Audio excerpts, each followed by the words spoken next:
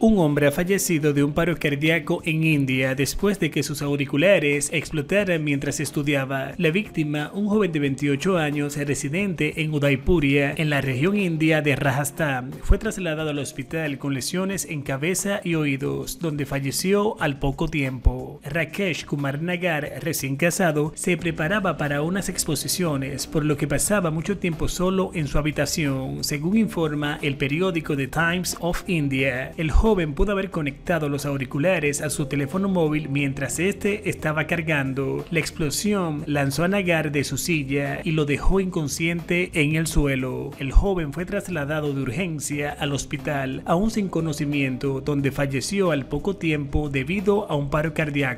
Es algo muy común en estos casos, explicó el doctor Rumla. Nagar presentaba heridas en la cara y en los oídos como consecuencia de la explosión. Aún existe confusión en torno al motivo de la explosión. La víctima se encontraba sola en el momento del accidente, por lo que nadie puede corroborar lo ocurrido. Su teléfono probablemente estaba enchufado a una toma de corriente o los auriculares pueden haber estado conectados directamente a un ordenador, explicó un La explosión también podría deberse a una sobrecarga en la red eléctrica. Descanse en paz.